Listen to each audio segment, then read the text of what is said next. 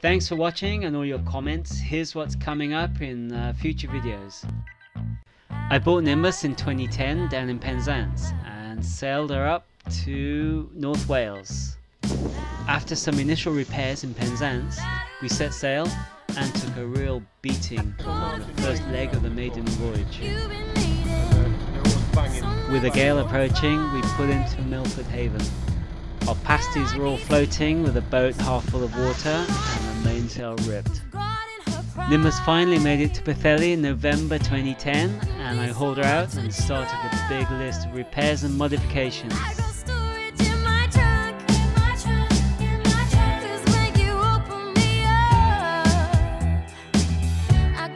I've had quite a few questions about these modifications, so I'll post some videos on these specifically.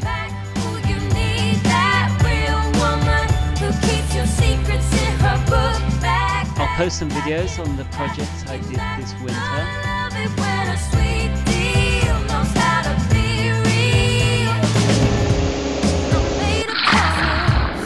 And also some of the reasons why I've made the changes I have.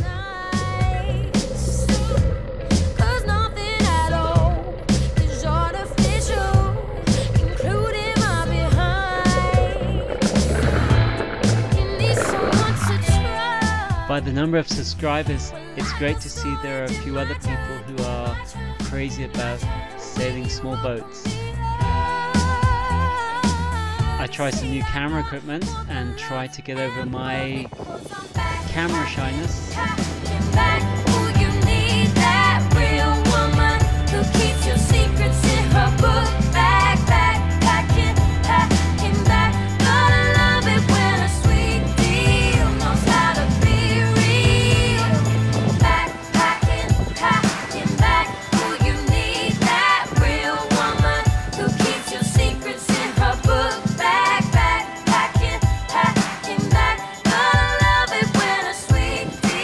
Lot of the changes I've made to Nimbus relate to single-handed and long-distance cruising, so I'll put some more details of these.